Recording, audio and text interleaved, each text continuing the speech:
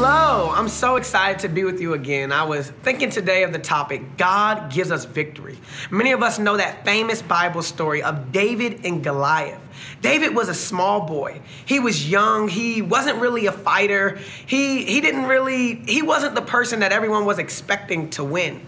But he went against this giant who was so tall.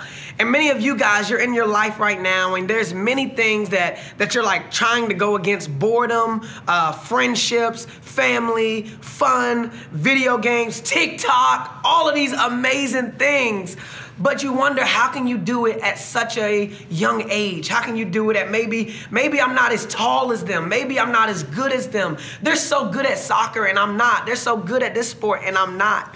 See but david knew that god is the one who gives victory.